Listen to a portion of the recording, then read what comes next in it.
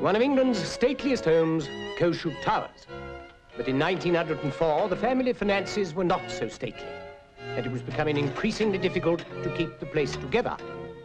Lord Cockshute got to grips with things as best he could, while his son Peregrine tried his hand another way. So I've been carrying out a little exercise down here by myself. Oh, you shouldn't do that. It makes you deaf.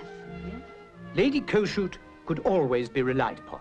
I really feel like it this morning. But in the end, it was down to Ampton. That is my name, if I may make so bold. Oh, place to have the times. Oh, what a stout fellow you are, Hampton. And where would it all be without you? My pleasure to serve, my lord. That is the family motto, and I make sure my staff does serve everyone with pleasure. As we keep it up downstairs.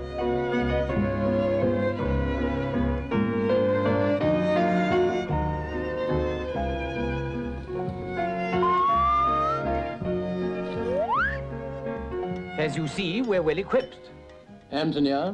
but we have our problems. Hampton will find a way. By good fortune, I do. With the help of an ex-chorus girl made good, well made anyway. Imagine spending the whole weekend with a real live Duke. But we don't stand on ceremony here. I'm Randy. Oh, My old childhood enemy, Snotty, back from the colonies with a fortune, and ideas above himself. An aspiring young actress who played games with the bishop. A French oh, maid who enjoyed her position in our household. don't stop now. Plus a millionaire from America. It's two o'clock fix. Now, anyone for tennis. Bam! No thanks are due, however, to Rogers, the groom, who was up to everything and everybody. Join the party at Cockshute Towers, and I'll show you what the butler saw. Oh! and saw.